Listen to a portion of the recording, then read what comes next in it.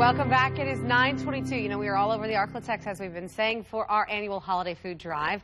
Our crews are waiting for your food donations in Bossier City, Shreveport, Stonewall, and Natchitoches. Live team coverage today includes Christian Picos, Kentley Hargett, Doug Warner, Melissa Kakarika, and Marie Waxel. They're accepting your food and monetary donations throughout the day there. The only person we have not talked to yet is our own Doug Warner. We saved the best for last. He is at Johnny's Pizza House on Benton Spur in Bossier City. Good morning, Doug. Adrian, I'm going to give you a hug right now through the television. oh, I've missed you. And Missed that's you for too. Ron, too. Ron, I love you, man. All right. Hey, here's the deal. See, uh, they brought in the A team. We're off and running now. See, we didn't get started till 9 o'clock. You see that? See that? Bossier, we have a problem.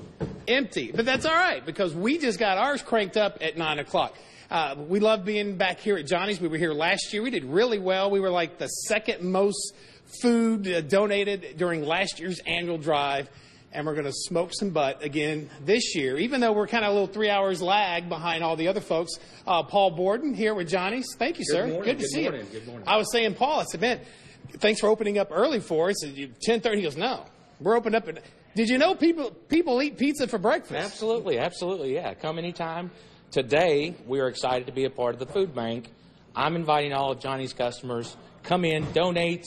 Let's win this. Although we got a three-hour late start, I believe our customers will kick in and we can win. Yeah, uh, last year it was close to 2,000 pounds of food right here at this location. I think Word of God Ministries had like 2,600 or so. Our hats off to those little kids. We saw them earlier. Hey, it's hard to beat the little uh, the preschoolers walking up with the cans of food. So The reason for the season. we've got our work cut out for us. But uh, why? This is the second year in a row, and it's important because we realize just how hard it is on the food bank year round, but much less during the holidays. Sure, community. Community is huge at Johnny's, and we know that all of our people will kick in. So right. we're excited to be a part. This is a great family to get to know. I've had a chance to, to get to know them over the years. In fact, did a story a while back on uh, Johnny himself, Johnny Huntsman, and what a great group of folks here. And it truly is family, not just in bosses and employees, but this is the real deal here.